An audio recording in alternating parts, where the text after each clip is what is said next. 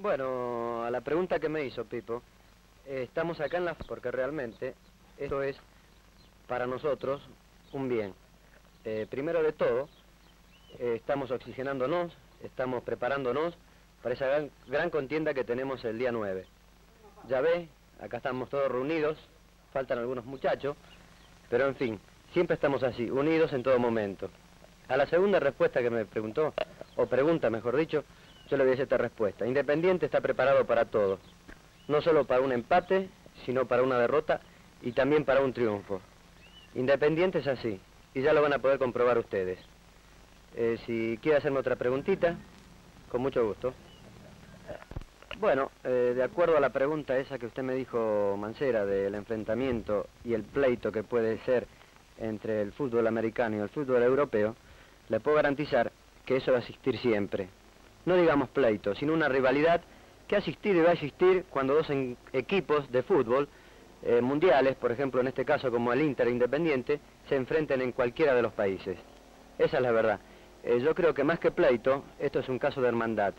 Ustedes saben que acá hay una colonia muy grande de italianos y acá se los aprecia mucho y nos queremos todos, que así que eso no es ningún problema.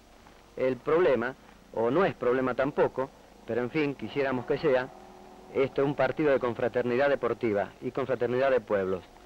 Nada más, eh, me parece que, ya le digo, esa pregunta ya quedó diluida eh, en esta respuesta que yo le dije.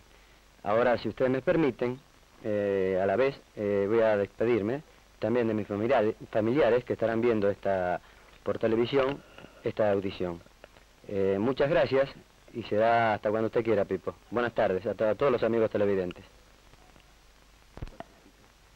Bueno, este, sobre la pregunta esta le puedo contestar de que Independiente eh, está preparado para eh, enfrentar a, a varios rivales o sea, uno o dos partidos por semana y, tiene un, plantel de jugadores que están capacitados para jugar en, tanto sea en en el campeonato local y en la Copa de Campeones. Bueno, Pipo, acerca de la pregunta que usted me, ha hecho, yo puedo contestarle que Independiente es un conjunto de gente que conoce bien su oficio y que se puede adaptar a cualquier sistema.